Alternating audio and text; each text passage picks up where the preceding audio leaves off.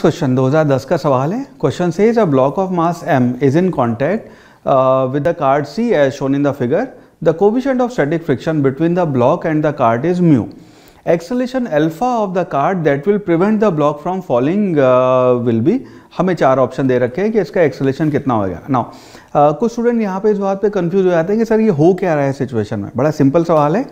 Situation uh, simple है इसको ऐसे देखना कि ये आपका कार्ड है। कार्ट ऐसे ऐसे करके आपकी ए एक्सलेशन से या अल्फ़ा एक्सलेशन से आगे जा रही है।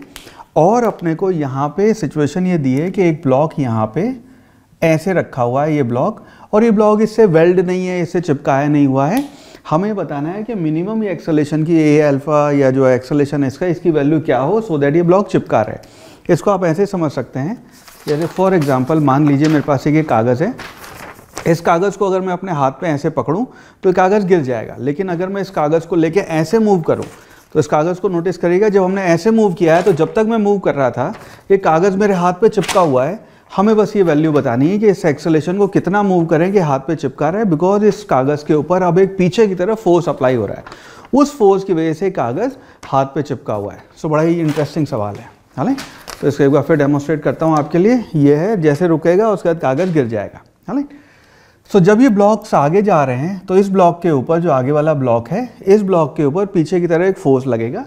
आ, इसका अगर आप एफबीडी बनाओगे तो इसका नीचे तो एक फोर्स लग रहा है एमजी और उसके ऊपर यहाँ पे एक फोर्स लगेगा उसका एमए जो आपका एक्सलेशन फोर्स है और उस उसके ऊपर एक और फोर्स लगेगा जो होएगा आपका फ्रिक्शन फोर्स जो उसको गिरने से एक्चुअली रोकेगा।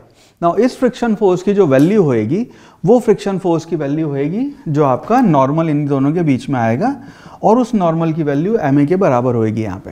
राइट तो यहाँ पे हम ये कह सकते हैं कि जो आपका फ्रिक्शन फोर्स है that should be greater than और इक्वल टू एम जी ये फ्रिक्शन फोर्स की वैल्यू आपकी एम जी से बराबर होनी ज़्यादा होनी चाहिए। तभी वो साथ में टिका रहेगा। हम यहाँ पे क्योंकि लिमिटिंग वैल्यू बतानी है, इसलिए बराबर भी मान सकते हैं बट हमारे चार ऑप्शन इसको ग्रेटर देन के टर्म्स में जानना चाह रहे हैं। हालाँकि यहाँ पे फ्रिक्शन की वैल्यू आप लिखेंगे mu N should be greater than equal to M G now N की वैल्यू हो जाएगी यहाँ पे, क्योंकि इक्वलिब्रियम है तो N will be equal to M A तो हम यहाँ लिख सकते हैं mu multiplied by M A should be greater than equal to M G तो यहाँ पे आपका एम और एम कैंसिल हो जाएगा विच मीन्स अगर इसको हम डिवाइड कर दें तो mu should be greater than और इक्वल टू नहीं। यहाँ पे ए ए के टर्म में हमें आंसर देना है। A should be greater than और equal to G by mu so आपकी ए की जो वैल्यू है that should be greater than equal to G by mu which means option number C would be the right answer